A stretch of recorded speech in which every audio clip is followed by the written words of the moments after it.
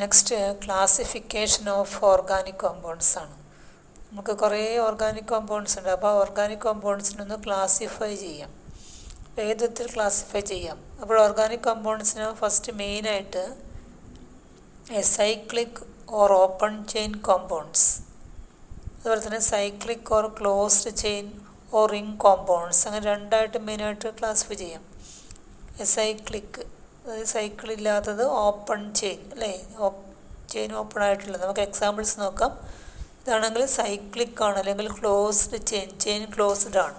അല്ലെങ്കിൽ chain closed means ring ആണ് ring ഫോമിൽ കിട്ടുന്ന കോമ്പൗണ്ട്സ് അതിന്റെ ഷേപ്പ് എന്ന് വെച്ച് കഴിഞ്ഞാൽ അത് ആ ഒരു കോമ്പൗണ്ട് നമ്മൾ എഴുതുമ്പോൾ ഒരു റിംഗ് റിംഗ് ആയിട്ടാണ് കാണുക. ഓക്കെ അതിന്റെ സ്ട്രക്ചർ സ്ട്രക്ചറും ഫോമിൽ നമ്മൾ വരക്കുമ്പോൾ ഓക്കെ അപ്പോൾ അങ്ങനെ മെയിനായിട്ട് ആ വിധത്തിൽ ക്ലാസിഫൈ ചെയ്യാം. ഇനി എസൈക്ലിക് കോമ്പൗണ്ടിന് സൈക്ലിക് കോമ്പൗണ്ട് വീണ്ടും ക്ലാസിഫൈ ചെയ്യാം. ആലിസൈക്ലിക് ഓർ ആരോമാറ്റിക് കോമ്പൗണ്ട് അപ്പോൾ സൈക്ലിക് കോമ്പൗണ്ട് വീണ്ടും ഒരു ക്ലാസിഫിക്കേഷൻ ഉണ്ട്. Alicyclic compounds or aromatic compound alicyclic compound തന്നെ വീണ്ടും ക്ലാസിഫൈ ചെയ്യാം.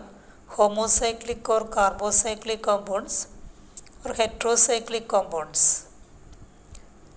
അപ്പോൾ ഹോമോസൈക്ലിക് വെച്ച് കഴിഞ്ഞാൽ അതിൽ ആ സൈക്കിളിൽ ആ ഒരു റിങ്ങിൽ കാർബൺ തന്നെ ഉണ്ടാവുള്ളൂ. കാർബൺ ഹൈഡ്രജനുള്ള ആ ഒരു മാത്രമേ അവിടെ വരുള്ളൂ ഹോമോസൈക്ലിക് ഹെട്രോസൈക്ലിക്കിൽ കാർബണും ഹൈഡ്രജനും അല്ലാതെ വേറെ ഏതെങ്കിലും ഒരു എലമെന്റും കൂടെ അവിടെ ഉണ്ടാവും. ഓക്സിജനോ നൈട്രജനോ അങ്ങനെ.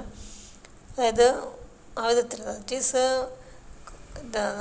ഓക്സിജൻ നൈട്രജൻ ആ വിധത്തിലുള്ള കോമ്പൗണ്ടേ പറ്റുള്ളൂ. ആ റിങ്ങിന്റെ ഭാഗമായിട്ട് വരണം. അതായത് രണ്ട് ബോണ്ട് അറ്റ്ലീസ്റ്റ് ഫോം ചെയ്യാൻ പറ്റുന്ന ഒരു എലമെന്റ് മാത്രമേ റിങ്ങിന്റെ ഭാഗമായിട്ട് വരാൻ പറ്റുള്ളൂ.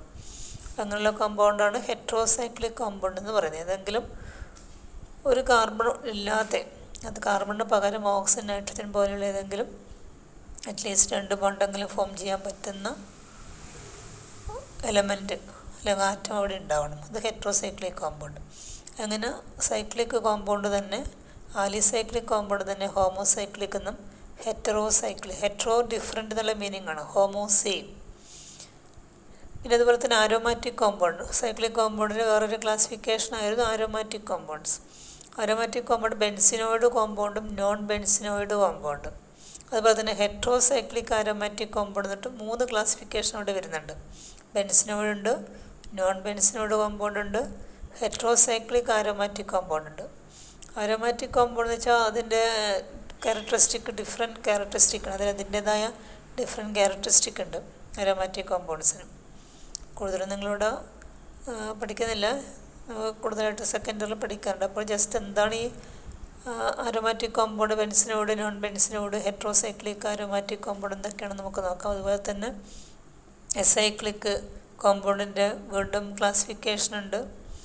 എസൈക്ലിക് കോമ്പൗണ്ടിൽ ഓപ്പൺ ചെയിൻ കോമ്പൗണ്ട് നിങ്ങൾ അത് സ്ട്രെയിറ്റ് ചെയിനായിട്ടും ബ്രാഞ്ചഡ് ചെയിനായിട്ടും അങ്ങനെ ഡിഫറെന്റ് കോമ്പൗണ്ട്സ് അവിടെയും വരാം. പിന്നെ അൽക്കെയിൻ ആൽക്കീൻ ആൽക്കൈൻ ഉള്ള ടൈപ്പ് കോമ്പൗണ്ടൊക്കെ ഇവിടെ ഈ സൈക്ലിക് കോമ്പൗണ്ടിൽ വരുന്നതാണ്. സൈക്ലിക് കോമ്പൗണ്ട് എന്താ ക്ലാസിഫിക്കേഷനാണ് അത്? അൽക്കെയിൻ ആൽക്കീൻ ആൽക്കൈൻ ഒക്കെ വരുന്നത്. അതൊക്കെ നമുക്ക് ഏകദേശം അറിയുന്നതാണ്. ഒക്കെ ആ വിധത്തിൽ ക്ലാസിഫൈ ചെയ്യാം അതിന് അതിന് കൂടുതൽ എക്സാമ്പിൾസ് നോക്കിക്കഴിഞ്ഞാൽ നിങ്ങൾക്ക് കൂടുതൽ മനസ്സിലാവും.